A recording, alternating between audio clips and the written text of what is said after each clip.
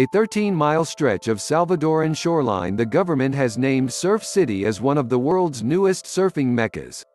At the center of those 13 miles are La Bocana and El Sunzal, two top surfing spots known collectively as El Tunco after the distinctive volcanic rocks just a few feet off the beach.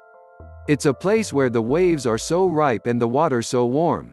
Tourism officials are hoping it can repair the country's battered image while the International Surfing Association has chosen it as the location of the final qualifying rounds for the debut of surfing as an Olympic sport this summer.